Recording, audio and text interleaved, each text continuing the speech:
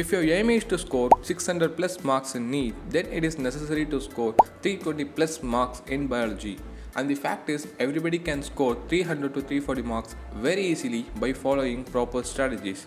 If you can't do great things, do small things in a great way. Likewise, if you can't get more marks in physics and chemistry, then try to balance it with biology. So, if you are a student who is very weak in physics and chemistry, then stop wasting more time in that part. Instead, master biology first, then go with physics and chemistry. That's brilliant. In this video, I have explained the best strategies you need to follow to score 320 plus marks in biology, and I have divided this video into two parts. Part number 1 How to read and remember. Part number 2 How to revise effectively. I'm Ibrahim, NEET 2019 topper, currently pursuing second year MBBS in Madras Medical College. If you are new to my channel, then consider subscribing and hit the bell icon to get instant notification whenever I upload new video. Okay then without wasting a moment, let's get started.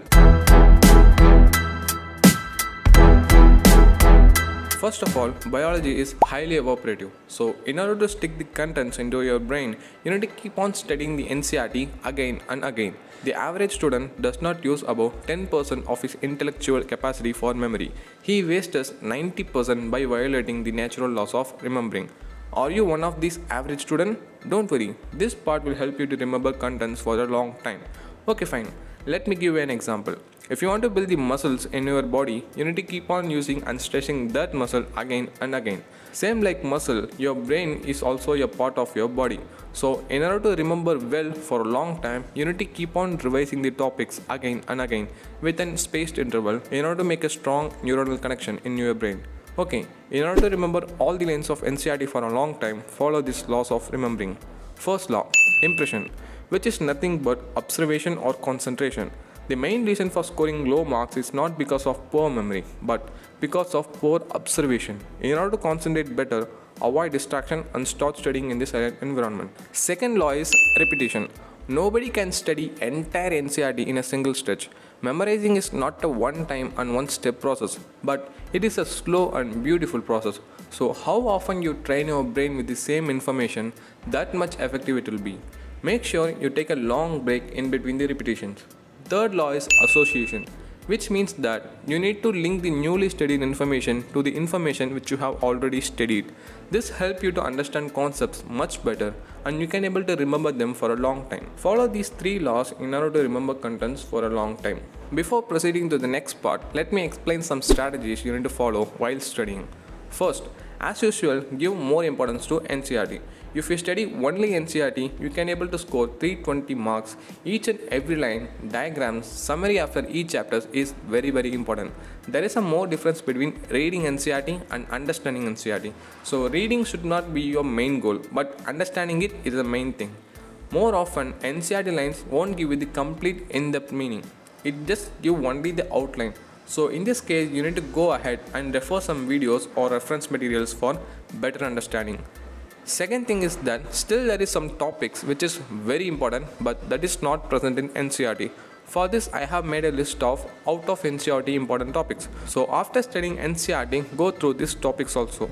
This PDF is available in our app under study material section. You can view that for free. App link in description. Third thing is that when you come across new information or new type of question papers, practice writing that in NCERT sites. This strategy is followed by majority of the toppers because it works. So next time when you are revising the topics, don't forget to revise this parts also. Fourth most important thing is that don't try to memorize the NCERT lines while you are reading for the first and don't try to take any notes. Always remember this point. When you try to read any new topics, you need to practice reading it like a newspaper and while reading underline the most important points. Second time, while you are reading the content again, now try to make notes and memorize. This is the effective way of studying. Fifth most important thing is that most of the time you won't get questions directly from the NCERT lines. Instead, there will be NCERT derived questions.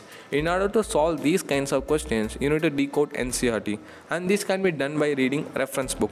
Always remember NCERT must be your main book. To understand NCERT, you can use reference book. Okay, now we can move to the second part of the video, how to revise effectively.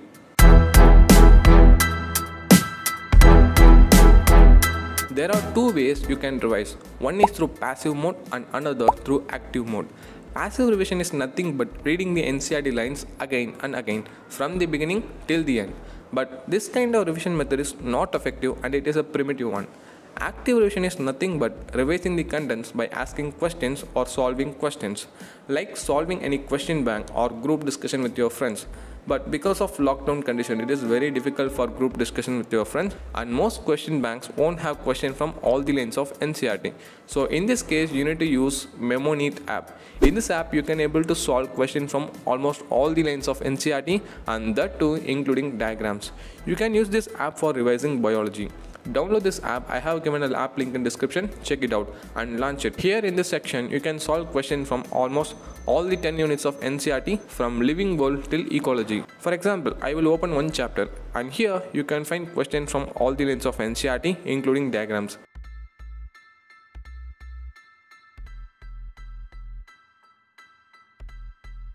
Here in the second part, you can track your performance.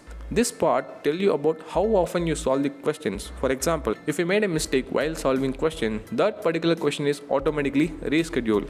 This feature is really awesome.